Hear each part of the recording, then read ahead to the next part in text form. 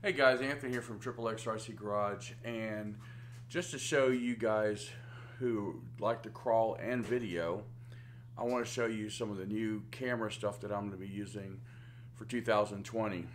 One of them is my GoPro rig, and um, this is actually a GoPro handle that folds up, and then you do a slight twist, and then it'll it'll uh, close back up and then you got a vlogger. Now I'm waiting for a box that goes in here. It's going to be the adapter for the microphone to plug into. Okay, so this is the GoPro adapter, and it goes in there like this, right through like this, and then you push it tightly through, and then on the side here, you're going to plug it in into the type Okay, so got it plugged in. And on this side here is where your mic microphone will plug will plug in here. And if you need to run a power cord or we got a battery backup, you can actually plug it in here as you're recording. So it helps provide um, power to the battery as well as the microphone gets to work as you're charging, where you can't do that normally on a regular GoPro hookup. And this case here, I just got, it's by Ulanzi, I think. It was something from eBay, very cheap. Um, it holds the GoPro 7, but this, this handle can get really long, so you can do that ground shot if you want of your rig, or if you just want to do like a do like a long distance vlog if you're talking to multiple people. That way you can get them, them in the microphone as well as in the view. So that's going to be uh, some of the stuff that I'm using. If you watch my last two videos, you'll saw that I did a time lapse and I did that with my other GoPro 7 and I used this mount right here which shot straight down to the table. Currently right now I do have my SCX-10 II on the table reworking it, putting some electronics back in it, stuff. So anyway, so anyway, just wanted to go over that with you guys and show you um, some good ideas for that. Now, before I was using, knock out my camera, I was using this Joby setup here with my phone and I'm still going to use my phone. I, I just got it on a different stand now and I'll show you what that looks like here shortly. But we're gonna, I'm gonna be incorporating that as well as the, um, incorporating the phone as well as the GoPros, mostly the GoPros on the outside if I can. Okay guys, so here's to show you. There's the GoPro 7 facing straight down to the rig that I'll be working on. And uh, so yeah, that's how basically do my time lapse videos. And uh, so yeah, so yeah, the GoPro works great. Um, that light I got shining down the stands a little bright. Let me see if I can shut that off. So anyway, so that's how I'm going to get the shots straight down. That way you guys can see what I'm doing, which is awesome. And uh, and one of the reasons I went with the GoPro 7 versus the GoPro 8 is one, um, I was able to get both of these GoPros for about what it would cost to get one GoPro 8. There's not much difference other than it's got little flip out tag tabs, and I think there's a little bit more stabilization on the new one. Um, don't quote me on it. I've been trying to watch them with the ver- one versus the other. my old GoPros were a five, I'm sorry, a four and threes. So I upgraded a lot. And uh, not say I'm not going to get the eight. I just, uh, you know, got a really good deal with these here. Uh, basically, I did some trades and stuff, and I was able to get both of these things for the. If I would have sold the rig, the price I paid. So basically, I did about uh, 350 bucks for both cameras. So pretty cool. anyway, and then uh, uh, got some other stuff in, with the trades too. So uh, not the mic, but the uh, well, yeah, I did get the mic, but I got it from somebody else. And but the handle, that was part of it. So yeah, you know, some of the things I've been able to do and stuff, so we can bring good content in. And you know, I'm still working on it. I mean, yeah, it's been a couple years, you know, doing this. Uh, at least, well, a couple years doing RCs.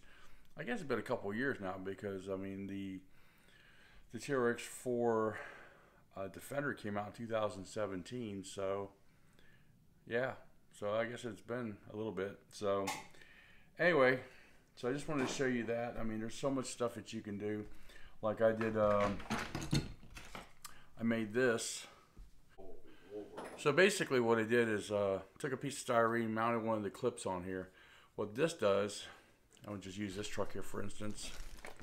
If you have your body on, this will fit your body post to the front and then that way you can put a camera and drive the truck through the trail and get a different view shot.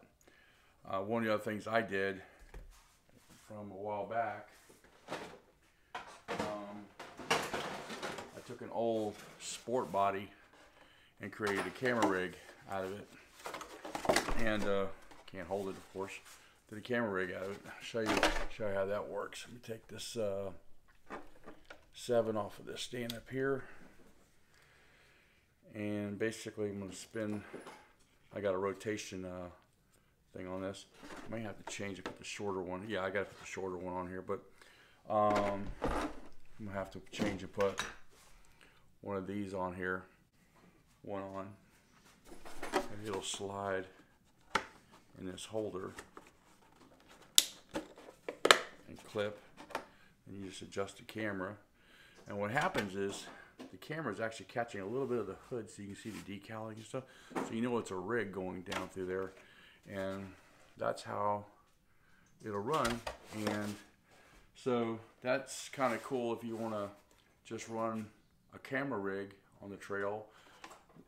What you can do is you can do what's called a B-roll. Basically, take the truck, run it through the same trail, come back, switch your body up, put the you or use your other rig, whatever, and then you can run it again, and then that way you can do a shot from above showing the rig going through the trail, and then you can do a ground level rig going through the trail. That's one of the reasons why I had this body, which looks like that one, with the same decals on the hood. That way, if you saw this rig, that you would think it's from the same rig. And uh, so, I love when stuff falls on camera. What? So anyway, that is just some ideas. Now some guys will just take and glue a, uh, what do you call it, a, uh, one of those mounts on their rig. And you can do that. It's just that from the past, like when we've done that, it ends up falling off um, or you flip the truck or something. That's why I built this cage so the truck rolled over. Camera wasn't going to be affected.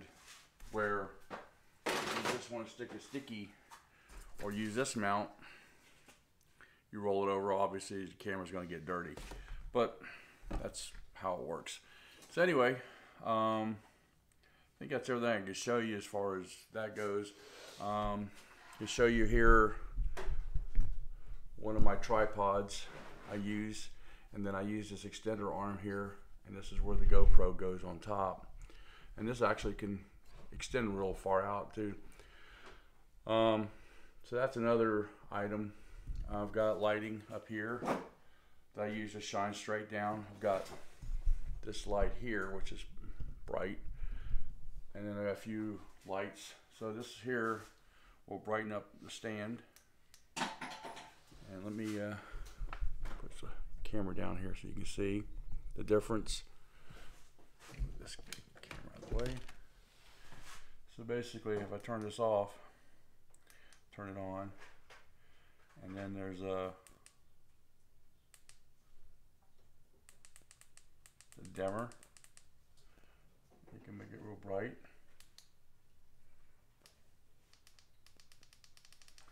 And then there's also different lighting. Uh, What am I doing here? Okay, that's brighter.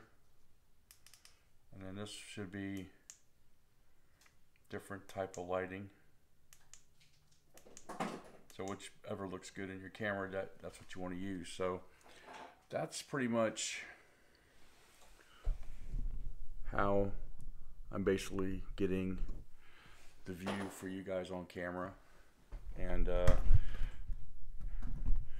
so anyway, okay guys, so right now you're watching video on the GoPro Hero 7 Black with my uh, Saramonic uh, directional microphone.